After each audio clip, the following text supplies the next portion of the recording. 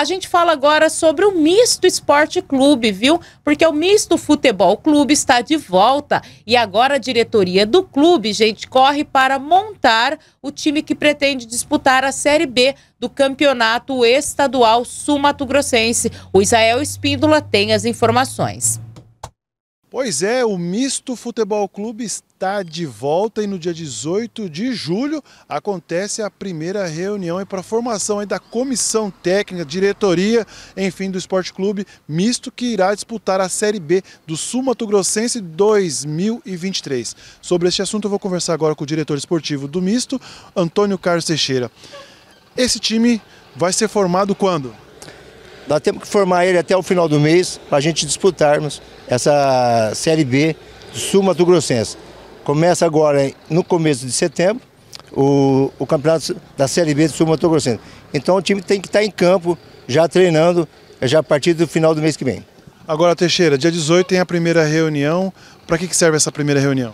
Nós vamos formalizar a nova diretoria do Misto, que está sendo colocada ainda os membros da diretoria é, o, o, presidente já, já, tamo, já foi escolhido, o vice, diretor de esporte e também o tesoureiro já está tudo certo. Falta alguns outros membros para que a gente coloque o time, a, a, diretoria já inscrita na CBF e também no, na Confederação Sul-Mato. Agora, Teixeira, o misto tem uma história muito grande aqui em Três Lagoas, representatividade inclusive no Campeonato Mato Grossense. Os torcedores podem ficar aí contente, pode confiar nessa nova diretoria? Sim, essa nova diretoria veio para a gente disputar o campeonato e não só disputar, nós queremos ser campeão ou vice, porque se a gente for campeão ou vice, a gente sobe para a Série A. E o ano que vem, se a gente for campeão ou vice, a gente pode disputar a Copa do Brasil como o Misto disputou em 2009 contra o Corinthians. Nós fizemos um, um belo trabalho, ganhamos do Campinense, empatamos aqui 0 a 0 lá no Campinense a gente empatou 1 a 1 ganhamos no, nos pênaltis e fomos para a, a, a, a próxima etapa da, da, Copa do Brasil, que foi o auge do futebol de Três Lagoas. Então vamos, tentaremos fazer novamente é, igual foi feito em 2009. Agora, Teixeira, a formação desse time que vai disputar e também já pode abrir porta para outras categorias, já que o time precisa de uma base?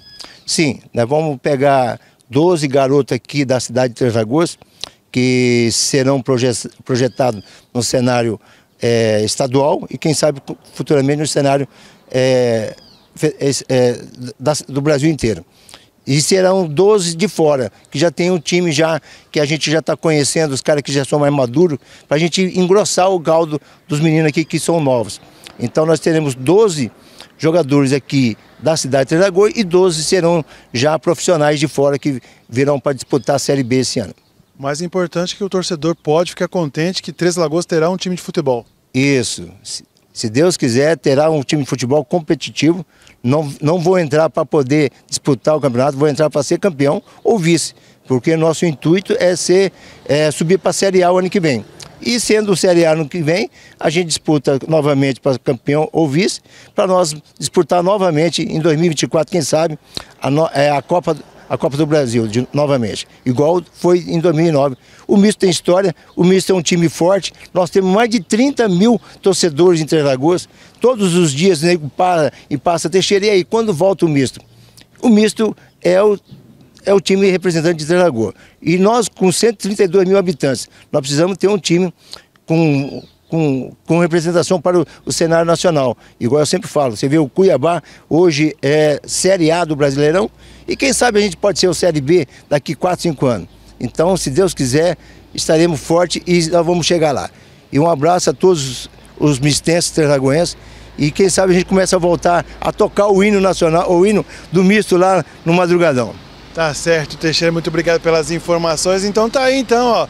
Dia 18 de julho é a primeira reunião aí da comissão da diretoria do misto e a gente, é claro, fica aqui aguardando né, a formação desse time para poder divulgar aí o misto que tantas vezes trouxe orgulho para Três Lagoas.